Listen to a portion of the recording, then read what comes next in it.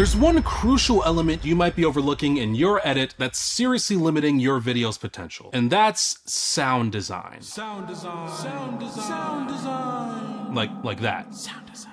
When it comes to editing, especially if you don't have a ton of experience, it's super easy to obsess over how your video looks and kind of leave it at that. But the truth is, if you're skipping sound design, you're leaving half of your video on the cutting room floor. Think of sound design almost as seasoning your food. You know, like sure, you can make a meal without it, but is it gonna be as good?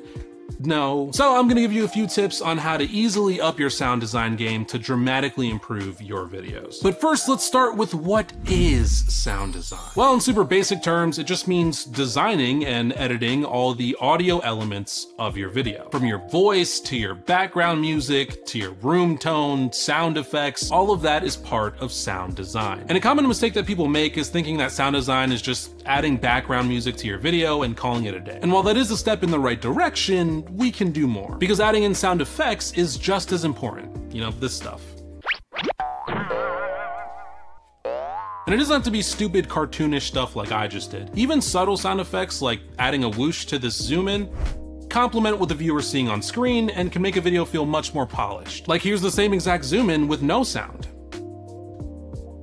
See how much emptier that felt? So okay, now that we went over the basic principles of sound design and why it's important, let's go over some tips and tools you can use in Descript to make your sound design sound the best. First things first, before we can really hone in on our sound design, we wanna make sure that we're listening at a comfortable and constant volume to ensure continuity with our audio levels. See, because it's really easy to raise and lower your computer's volume when something's too quiet or too loud, when we really should be changing the audio levels in Descript. So I usually set my volume to about 70 75, 80%, and I don't touch it until I'm done sound designing. Next, I like to open my settings, go to the view tab, and toggle volume and timeline, which gives us this cute little audio meter. Now I don't have to just go off of what I'm hearing, I have a visual marker of where I want my audio levels to be hitting. And all right, now that we're all set to edit, let's get into some tools. First, we got one of my favorite things about Descript, the stock panel. Because now I have all the music and sound effects I could possibly need right here. I just open up the stock panel, search for what I'm looking for, and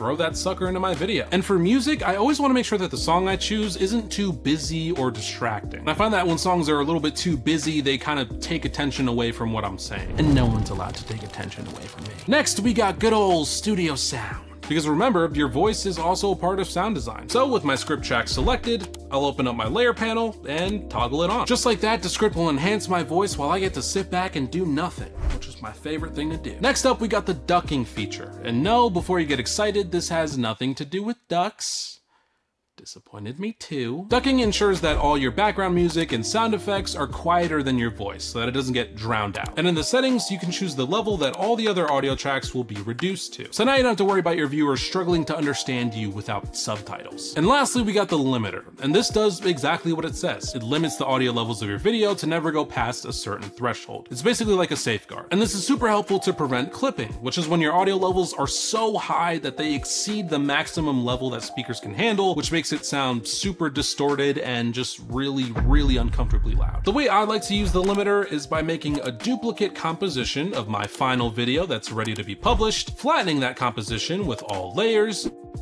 then adding a limiter to minus 3 dB. Doing it this way ensures that all the audio tracks in my video never exceed this threshold. And so I won't suddenly blow out my viewers' eardrums. And all right, just like that, I can take a video like this. Getting decent lighting is easier than you might think. And to prove it to you, I'm gonna make a basic three-point lighting setup with some cheap $20 lights and turn it into a video like this. Getting decent lighting is easier than you might think. And to prove it to you, I'm gonna make a basic three-point lighting setup with some cheap $20 lights, which again sounds much more polished and ultimately leads to a video that's a lot more engaging to watch. So next time you're editing, remember to also focus on sound design design. And in five years, when you rightfully win your Oscar for sound design, make sure to send it to me so I can sell it on eBay. Those things probably go for tons. All right, go leave me. Thanks.